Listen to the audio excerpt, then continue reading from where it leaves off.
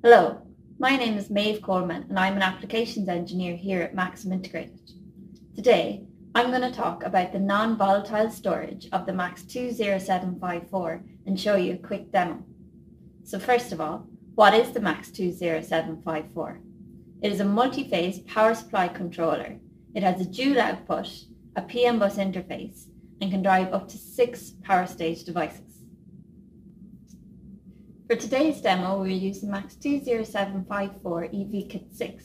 This EV kit demonstrates the MAX 20754 alongside six MAX 20766 power stage devices.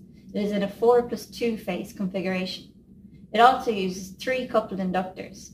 Coupled inductors reduce the effect of inductance value and size without excessive ripple current and therefore reduce the required output capacitance and improve the transient response. So here's the MAX 20754 EV kit. Here's the MAX 20754 controller, the six MAX 20766 power stage devices, three coupled inductors, there's the PM bus interface and the power jack. To interface this board to the PC via the PM bus interface, you need the Max Power Tool 002. When plugging this in, make sure the red line goes to the pin 1 indicator on the board. We can then use a 12 volt wall adapter to power up the board. And we enable the device at S5, the two outputs at S2 and S3. Now, let's take a look at our Power Tools software. This is available to download from the Maxim website. So here on our dashboard, you can see the two slave addresses for the two outputs of the MAX 20754 and all of the basic parameters to go with those addresses. Now at this point, I'd like to give you a little bit of background on the non-volatile memory structure of these devices. The non-volatile memory is implemented in blocks or units of one-time programmable memory and the starting memory quantity is 108 blocks. So to save configuration parameters to the device's memory, the user must click Store User All or Store Default All.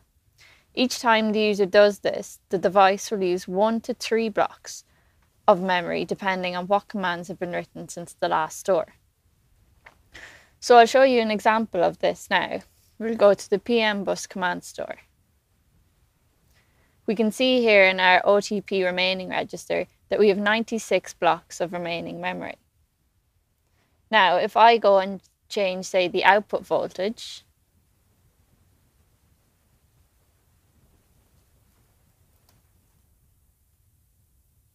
and click Store User All, I'm prompted to turn off my outputs. So I can do so by turning off S2 and S3 on the EV kit. So they're off now. Click OK and OK. And now if I go back to my PM bus command store, I can see there are 95 blocks of remaining memory. If I want now, I can go back to my configuration tab and click Restore Maxim All. This puts the device back to the Maxim supplied defaults.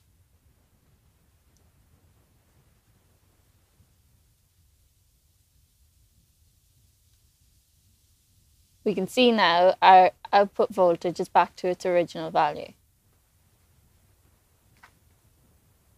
Another thing to note with these blocks of non-volatile memory is it takes one block of memory if you are storing command changes that affect one rail only. But it takes two blocks of memory if the command changes you make and store are for both rails. So for example, you can see here on the home dashboard, if I change the on delay time to say 2 for output A and 3 for output B. And I click Store User All.